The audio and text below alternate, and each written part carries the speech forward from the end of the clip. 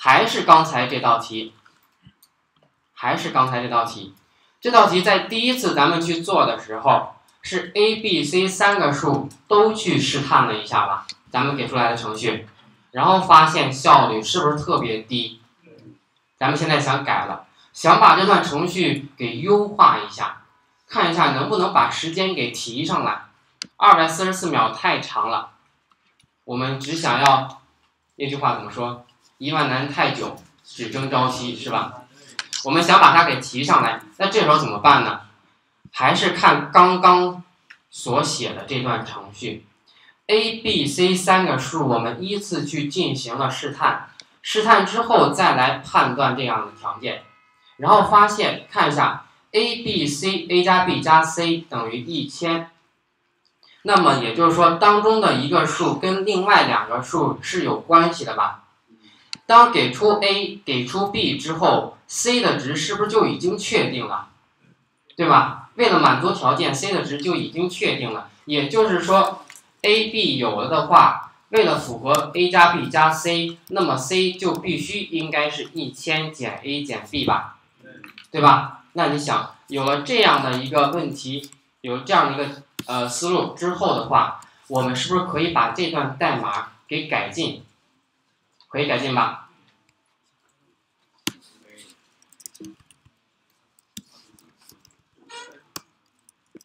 群里在聊什么呢？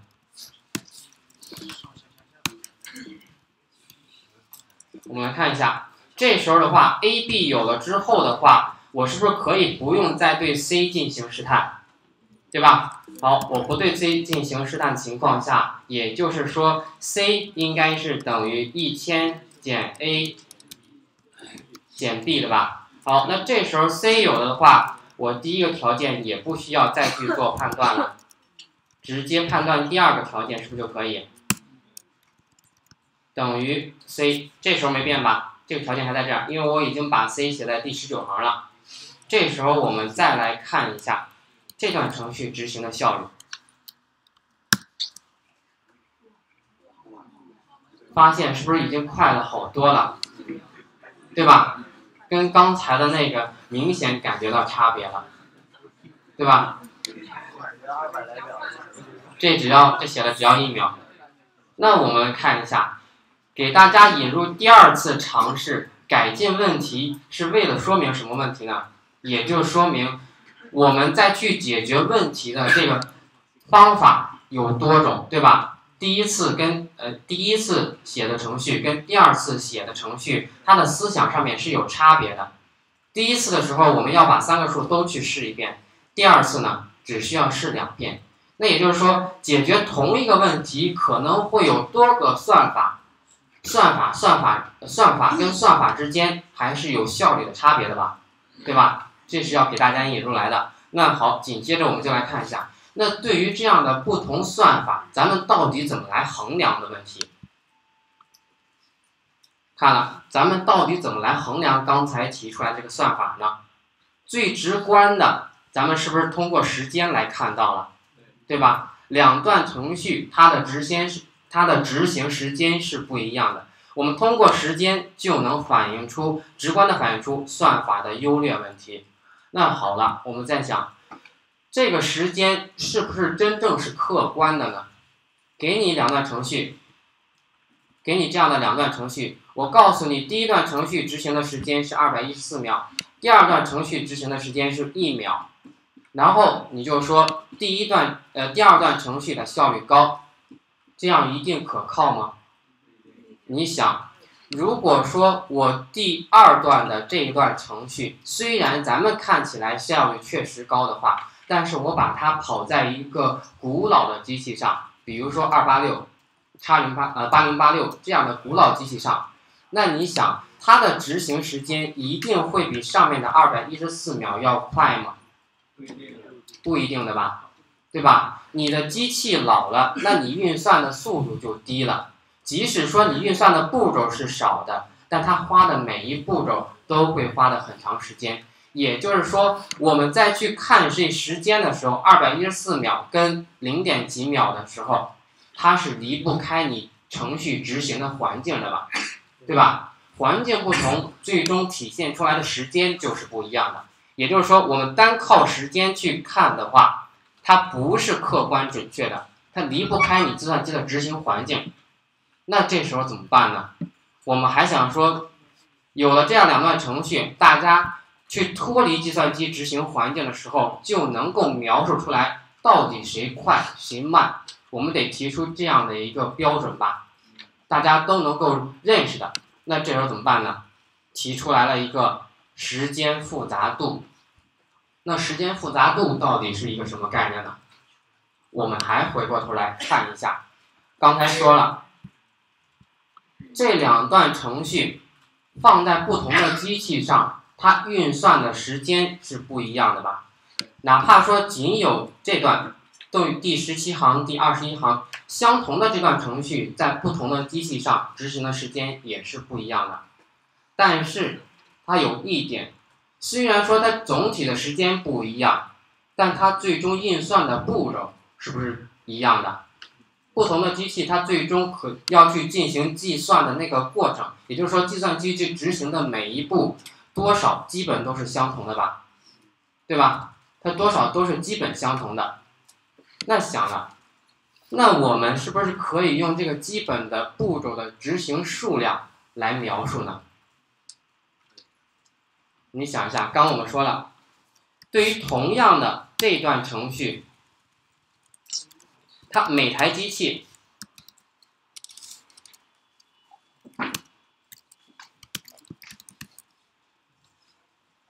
每台机器执行的总时间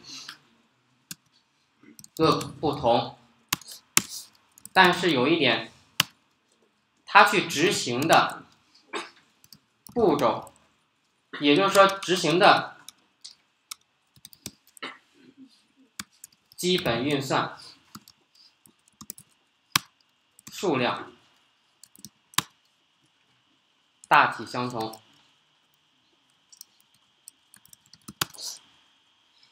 这里边有一个基本运算，这个基本运算代表的是什么呢？看一下。不同的机器上面再去做的时候，c 等于一千减 a 减 b，这是不是代表基本一步，对吧？然后再去做第二十行运算的时候，判断一个 if 条件，那它首先要拆分成几步？先要判断 a 星星二是多少，再判断 b 星星二是多少，然后再判断 c 星星二是多少，再要判断 a 星星二的这个结果跟 b 星星二的这个结果的和是多少。再判断一下两个值是否相等，对吧？也就是说，不论把这句话放到哪一台机器上，它总归都要经过这样的基本几步吧，对吧？这时候也就是说，它去执行的基本运算的数量总体上面是相同的，这一点是大家认可的吧？好，那这时候我们来看了，既然你执行基本运算的步骤，这个数量。是大体相同的，无论是在哪一台机器上，它总归都要去执行那些步。那想了，两段程序之间之所以优劣，也就代表它让计算机去执行的这个基本运算总数是不同的吧？是吧？那好了，我们现在可不可以直接用这个基本运算的数量来去代来去描述这个算法，也就是说这个程序执行的效率问题呢？也就是说，上面这段程序它最终之所以产生的时间花费的时间高，是因为它去进行的运算步骤多，对吧？下面这段程序之所以快，是因为它计算的步骤少，它最终执行的这个总数基本运算的总数是少的，对吧？那现在我们就说了，可以直接用计算步骤这个数量，它到底要做多少步，来描述出来。两个算法之间的优劣问题。说到这儿，现在大家能明白吗？能理解吧？那再想一下，上面这两段程序它的时间不同，跟这个基本步骤运算，就是说上面的时间跟基本运算之间有一个什么关系？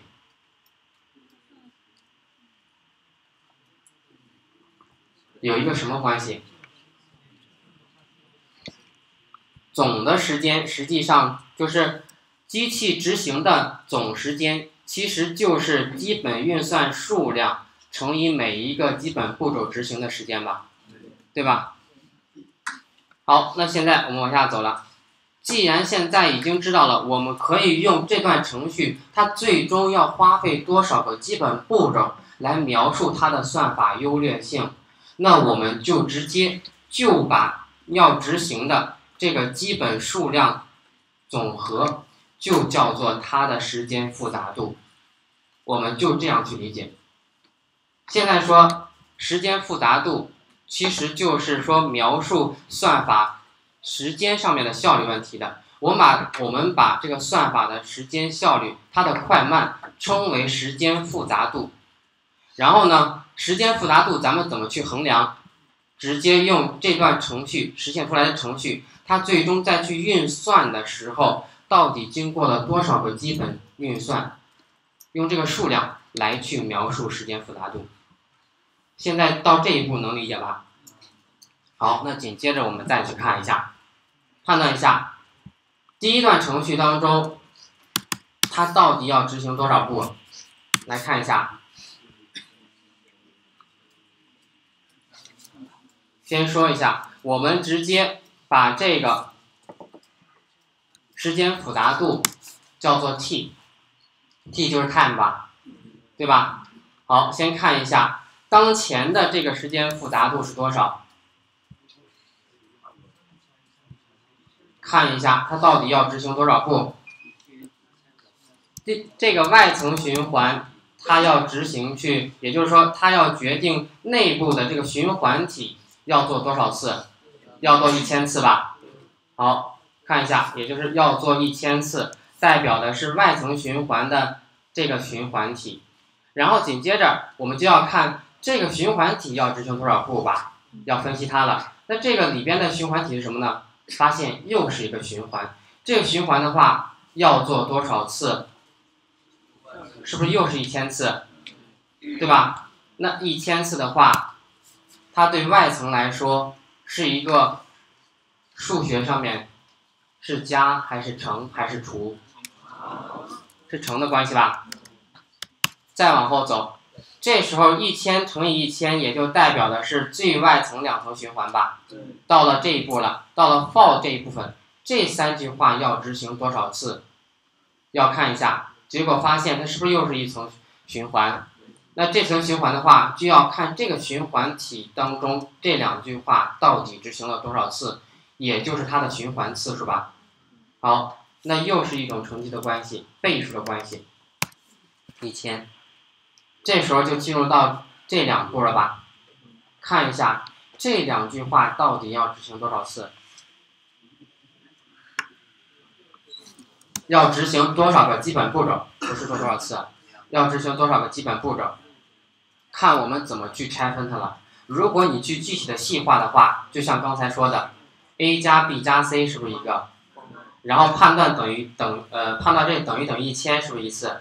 两次了。然后 a 星星二三次，b 星星二四次，然后 a 星星二加 b 星星二五次，然后 c 星星二六就是六个步骤，然后再判断这个等于是七个，然后再判断这 and 是八个，对吧？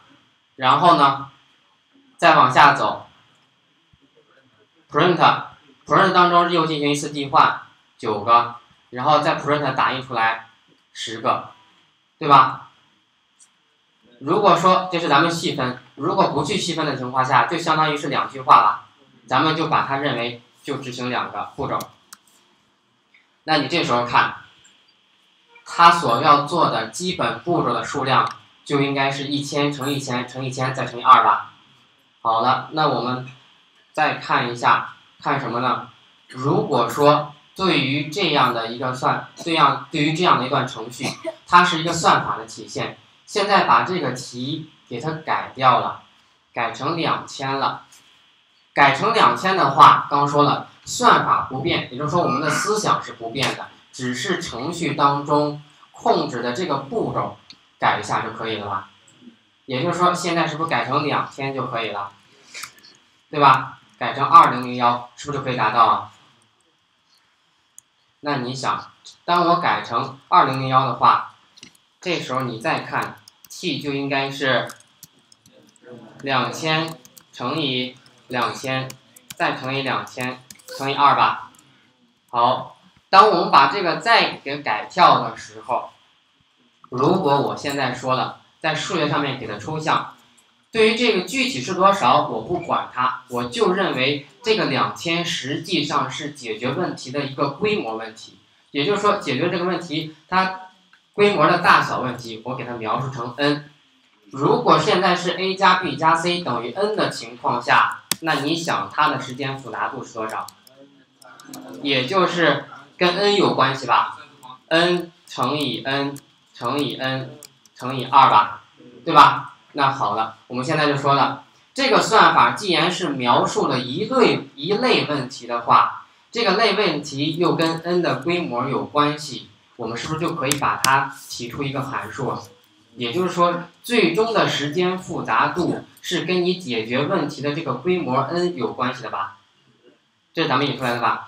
这时候也就是说，对于一个算法来说，它是跟你解决问题的规模有关系的。对于我们刚刚提出来的去试探 a、b、c 三个数的话，那它的一个时间复杂度就应该是 n 的三次方乘以二吧，对吧？这时候的话，我们就把底下这个带了 n 的这个规模参数的话，叫做时间复杂度，更具象化、更具体了，就把底下这个 t n 的这个函数呢，叫做它的时间复杂度。因为你想，我们已经说了，算法是解决问题的一个思想，这个思想又具备通用性。那通用性体现在哪儿呢？是不是就体现在这个 n 上面了，对吧？好，到这一步现在还能跟得上吗？好，我们再往下看，再往下看，这时候 t n 有了，那我们再去进行比对衡量的时候。就有一个问题，这个问题是什么呢？我们再去对算法进行分析的时候，分析的越细致，代表我们衡量的是不是越准确呀？对吧？但是有些时候我们并不关心它到底是二乘以 n 的三次方，还是刚才咱们所说的十乘以 n 的三次方吧？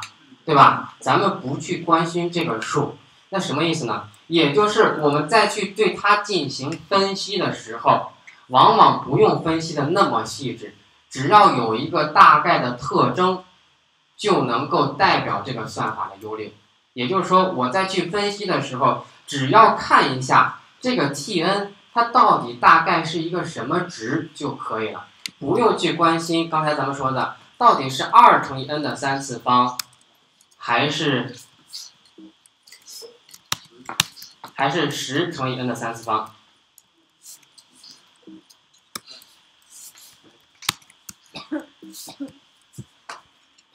是有这样的一个问题。那有了这样的问题之后的话，那我们就可以这样去想，也就是说，对于咱们来说，再去分析问题的时候，我们就基本可以这样认为：认为什么呢？n 乘以 n 的三次方乘以十。跟 n 的三次方乘以二，它大概是属于同一个数量级，对吧？也就是说，它的大小基本上是在一个等量上面，在一个等级上面的。这个怎么来理解呢？理解的方式就是，就比如说拿咱们存储的大小来说，咱们现在的笔记本电脑的数量级应该是在 G 上面吧？对吧？尽管你有二百五十六 G，还是说五百一十二 G，咱们咱们现在普通的笔记本或电脑或者家用电脑还都停留在 G 级上的吧？但是你想呢？对于大公司的服务器呢，它是停留在 T 级上面的，T 或者在比 T 更大的数量级上的。那这时候我们就不再关心它到底是几个 T，或者说比 T 更大的那个级别上了，而就关心的到底是 T 级的。还是 G 级的，对吧？那再往前推，我们关心的之前的很久以前，十年之前的 MP3，它那时候存储大小是停留在兆上面吧？几兆？一百二十八兆，对吧？也就是说，我们在分析一个问题，给你直观感受的时候，那么这个数量级更是一个直观的体现，不去关心后面底下这个系数了。我们是有这样的，对于人性化是不是有这样的一个感觉？好，那也就是有了这样的一个初衷，那我们就要提出来一个，对于这个 t n 时间复杂度，我们想给它再去进行省略。不要这么细致，怎么省略呢？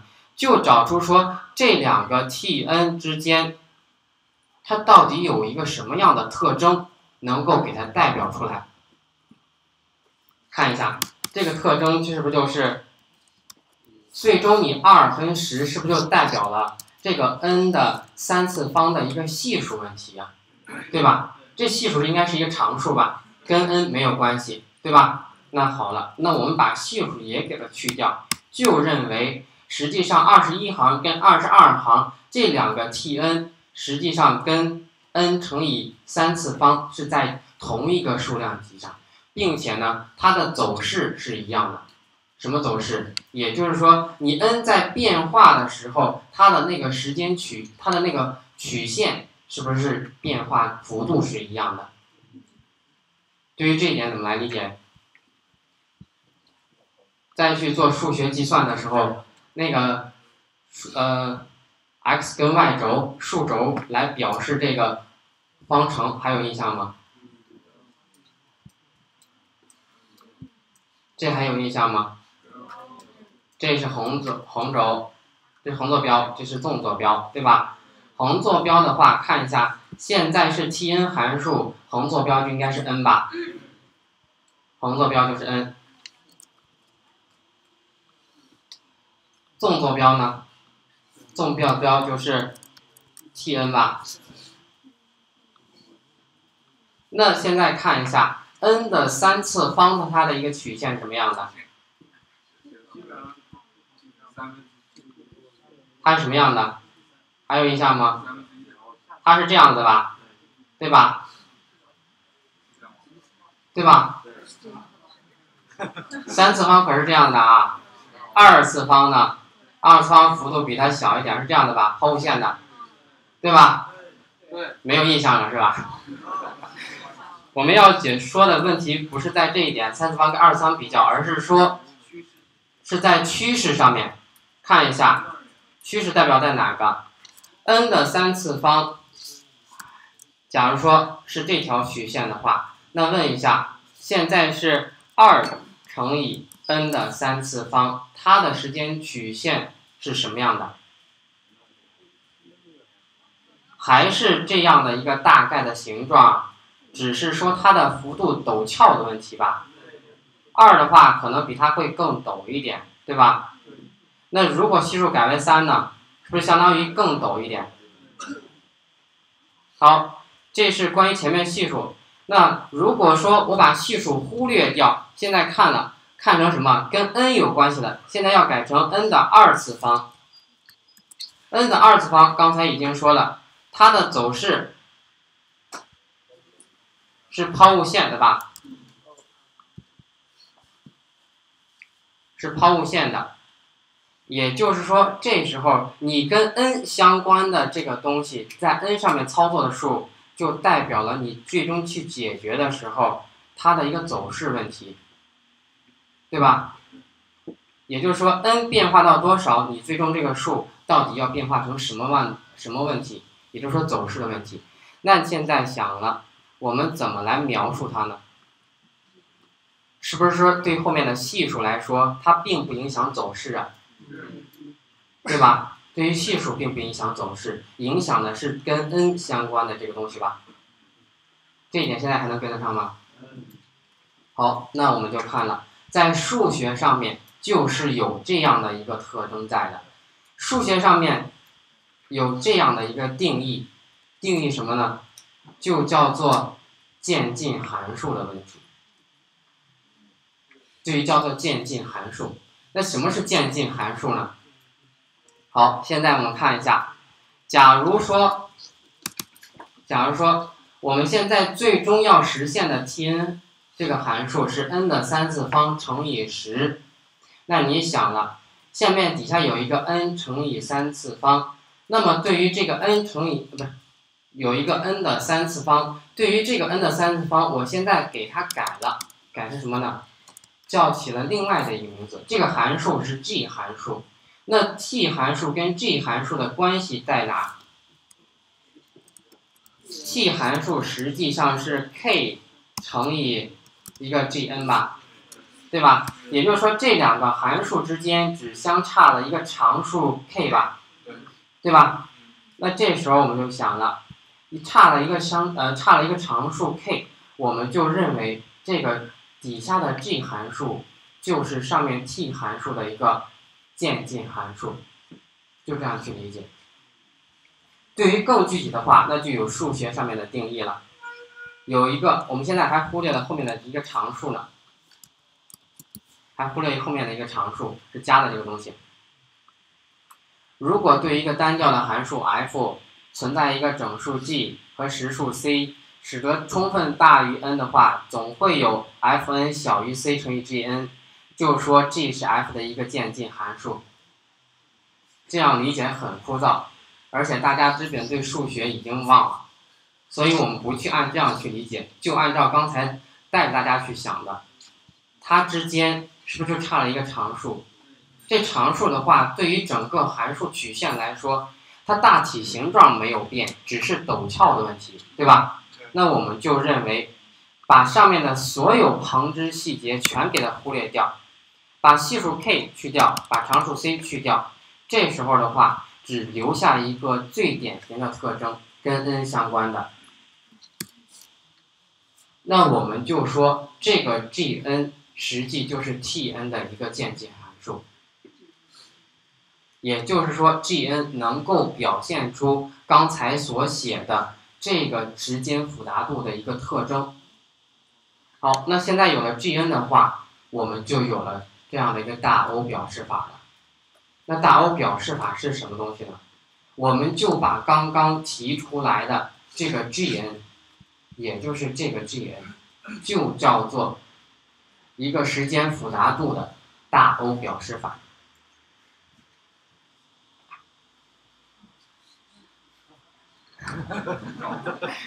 绕了这么半天，现在大体能明白吗？怎么提出来的？